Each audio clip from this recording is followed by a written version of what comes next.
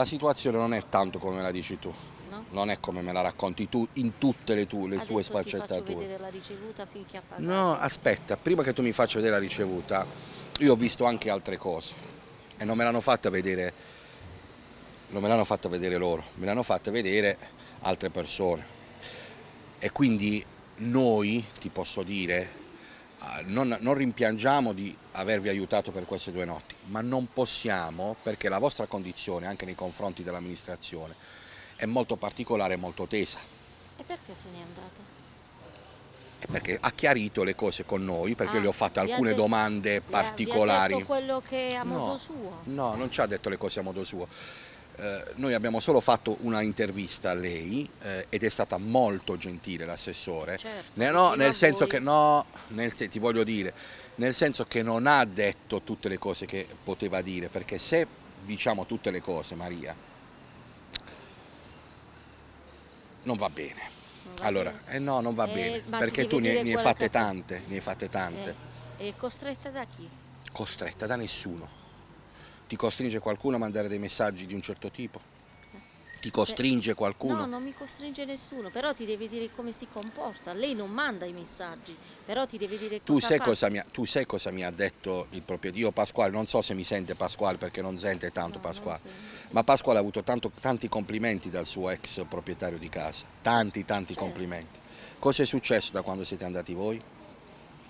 Io ho visto, io ho visto, le- ho visto la casa, ho visto quando, quando ve ne siete andati voi. Sì. E come stava la casa? Come stava la casa? Come La stava? dovevo aggiustare io. aggiustare, non c'entra la- aggiustare, le condizioni della casa, non le condizioni. aggiusti. Le condizioni, Le condizioni, le condizioni che non potevo neanche tenere le la- eh, il lavandino aperto. Dalla chiave d'arresto de, delle non è, ma non è, io ho visto, ti sto parlando così e lo sto facendo con grande tranquillità perché non mi fido, io non mi fido mai delle parole delle persone. E come dico, questo è anche il pretesto, quando scrivete queste famiglie sono quelle da aiutare, eh, non quei drogati, non quelle, quelli- quelle altre persone là, voi non conoscete tanto delle storie che raccontiamo e non possiamo farlo, non lo possiamo fare neanche in questo caso perché non voglio riferire i tuoi fatti personali, però siamo nelle condizioni purtroppo Maria di non poter continuare a darti una mano. Quando tu hai parlato e hai mandato certi messaggi all'assessore, eri lucida? Certo, Eri lucida? sì. Sei convinta che eri lucida? Eri- E te l'ha raccontata a modo suo. No, io ti dico, tu eri Te lucida? l'ha detto che l'altro ieri come mi ha vista se n'è andato, Eh te l'ho sì, detto ma, nello ma sai perché se n'è andata l'assessore? Per i tuoi atteggiamenti. Per i miei atteggiamenti? Eh sì. E quello che fa lei te l'ha detto? E cosa fa lei? Cosa Eh? ha fatto? Le foto che ti ho mandato del braccio, quello che mi combinarono, te l'hanno detto che me ne mi hanno trascinata Cosa avevi terra? nella borsa tu? Ah? Come andavi qui quando volevi parlare? Cosa avevi nella borsa? Eh? Cosa avevi nella borsa? presentata qua perché mi mettevano Cosa le avevi ve- ne- cosa avevi il mattarello, Ah. il cestino con la... perché se rimanevo qui dentro che Maria, era impossibile io non posso entrare. e vabbè e No. loro le mani addosso poi me le potevano mettere Ma che ti, ti avranno preso per portarti fuori e e, mi hanno fatto male al braccio dove sono braccio. andata a finire in ospedale E mi tu sei libera di prendere tutte le decisioni che vuoi, Eh, però ti capito, prego, non mi ti prego Io però, ti ho non ci foto del- coinvolgere. ti ho mandato le foto del braccio giusto? le hai Sì. viste? Ho mandato, hai mandato le foto del braccio, è successo una volta. Quante volte sei andata qui al comune? Sei venuta al comune? sei anni e mezzo Ok, sei anni e mezzo. Però è strano che fino a quando papà era da solo a casa, il proprietario ci parla benissimo di tuo padre. Ha un, ha un ricordo e una eh, stima nei confronti di tuo Ma padre. che c'entra che io sono andata a casa di mio padre? C'entra, Lo stesso perché da quel momento non è è che io cambiato. facevo la residenza, non è che a lui ho creato dei problemi, Come no? A chi lui? Ah, al proprietario Come di no? casa. Eh, il proprietario, la legittima proprietà privata è importante. E mica io metto in affitto una mica- casa, voglio che la- le, le- le cose vengano fatte in un certo modo, no? Che dici? E io ho fatto residenza ai Cappuccini per non fare residenza con mio padre. Eh, ma quindi questo non lo, non lo ripetere questo fatto, perché questo è un fatto che non, non va bene, questa cosa qua. Ah, Però mio padre io non lo posso lasciare da solo. Mio padre sono Eh sì. otto anni che è vedovo, non sente.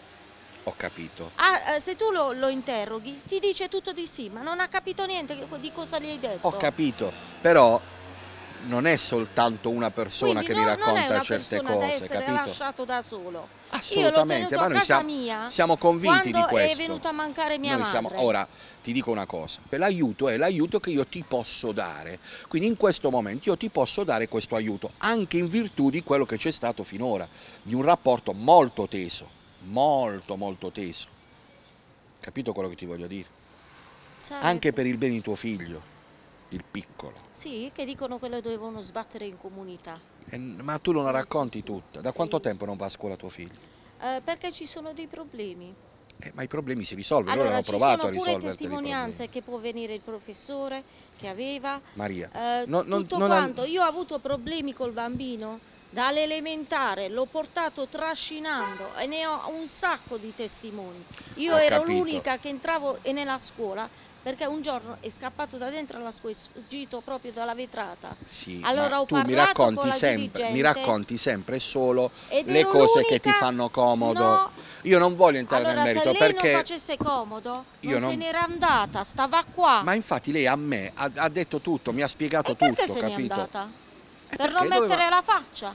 E che ti doveva dire le stesse cose che sentirai nell'intervista. Che motivo ha di eh, accendere ancora la tensione che tu tiri sempre fuori ogni volta che sali lì? Cioè tu non vai lì per poter avere una risposta, tu vai lì per avere la risposta che pretendi di dover avere. No. È questo. Allora, mi trattano male e reagisco male. Vai con le buone e non risolvi niente. Come dobbiamo fare? Tu sei sempre stata lucida, Sempre. sempre. Vabbè. Allora, Maria, io, La mattina non so ce, ce la mattina, boh. io non... Ma faccio da tro, faccio quando te No, no, no, non è quello. Io vorrei solo che tu capissi che l'aiuto che ti si Ogni può dare non è quello che tu pretendi. comune, Eh. se n'è andata.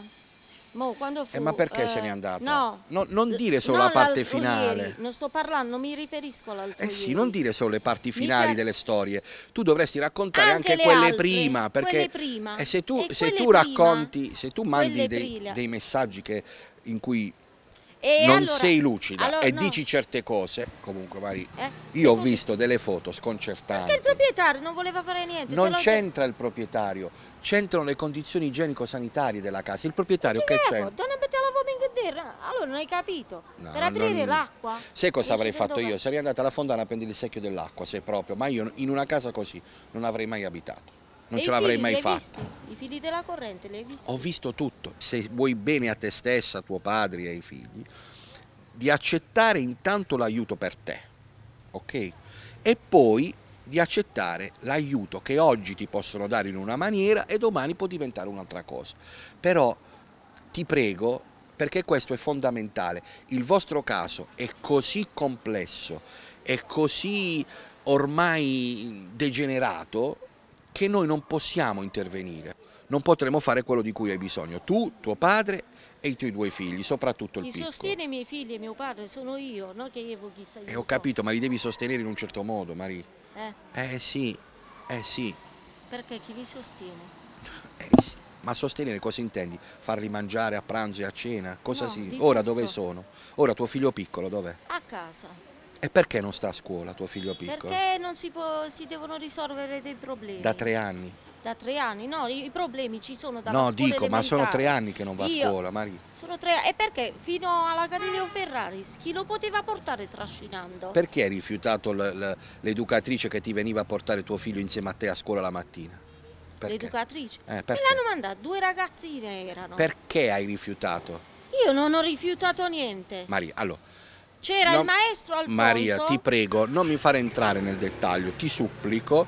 Io purtroppo non posso darvi una mano, non è una cosa per cui possiamo, io non voglio che- entrare perché vorrei che questa cosa rimanesse in questo modo, perché voi abbiate possibilità di trovare un'altra casa, possibilità se il comune diciamo ha modo di sostenervi e di aiutarvi, non complichiamo ulteriormente questa cosa, ti prego, eh, è per il tuo bene, cioè, Allora, a me farebbe comodo portare Ah, alla beh. lunga questa storia, invece ti dico che purtroppo siamo costretti a interrompere qui la- lo slancio d'affetto e di aiuto che abbiamo aperto l'altro giorno. Sono costretto perché la storia è degenerata al punto che io non posso più fare niente.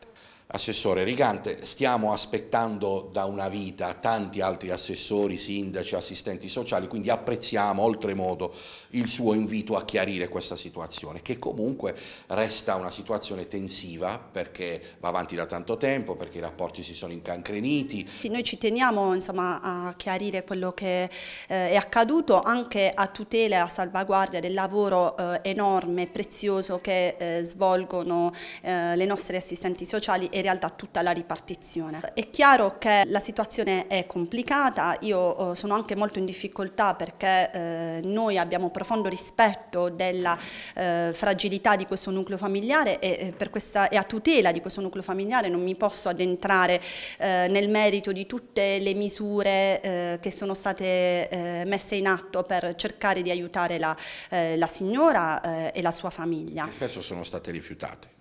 Alcune eh, sono state rifiutate, certo, ehm, in realtà questo è un nucleo familiare in carico ai servizi da molto tempo e anche per altre ragioni che vanno al di là dell'emergenza abitativa. Ehm, ricordo sempre che c'è un, un, minore che deve essere assolutamente tutelato e salvaguardato nella sua privacy, da giudizi eh, quelli che purtroppo poi si possono dare, specie sui social, in maniera frettolosa e eh, superficiale. Ed è il motivo per cui noi, eh, ne approfitto anche per dirlo a lei, avendo analizzato e sentito anche al di fuori dell'istituzione pubblica alcune testimonianze, alcuni racconti, decidiamo di fare un passo indietro perché è talmente complicata e delicata questa situazione che non possiamo in nessun modo provare a dare una mano oltre quello che abbiamo fatto, se non altro anche chiarificare con voi quello che sta succedendo. Um, la signora è stata più volte qui al comune, ha, molte volte ha dato in escandescenza, ci è stato raccontato che è venuta anche con un livore particolare nel chiedere la situazione, ma voi vi siete sempre un po' mantenuti anche perché le istituzioni devono avere questo certo. ruolo. Ora però pragmaticamente le chiedo, alla luce di questi chiarimenti, eh, il Comune cosa intende fare? Il Comune attraverso eh, la professionalità degli assistenti sociali troverà il modo di eh, adottare i provvedimenti, i provvedimenti, più opportuni. Immagino non soltanto ad opera del Comune di Biceglie ma in questo caso interverranno un po' tutti gli enti Può che vengono che coinvolti. Può intervengano anche altri, altri, enti anche perché eh, il caso è talmente ormai diciamo, uh, pubblico uh, che immagino intervengono anche altri enti, ma in realtà, eh, ripeto, eh, rispetto a questo nucleo familiare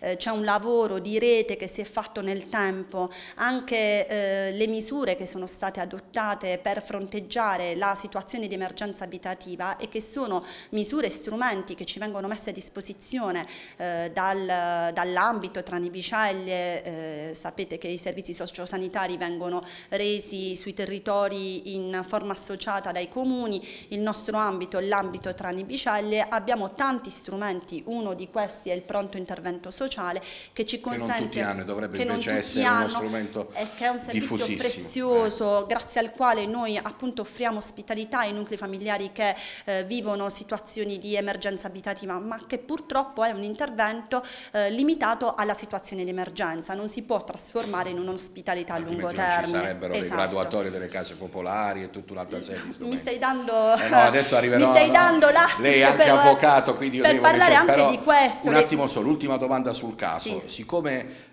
in tanti eh, noi purtroppo per fortuna siamo molto seguiti e in tanti so già la domanda che faranno. Sì va bene ma stanotte cosa succede? Perché noi ci stiamo tirando indietro. E li avete ospitati voi stanotte, no? Eh no, ma eh, adesso Finisce. sono fuori, sono due notti, no. l'altro ieri, ma... Eh, eh, no. Vedremo se c'è disponibilità, ma mh, ripeto, purtroppo temo che eh, non sia più possibile prorogare l'intervento del pronto intervento sociale che è durato per oltre 45 giorni. Inoltre...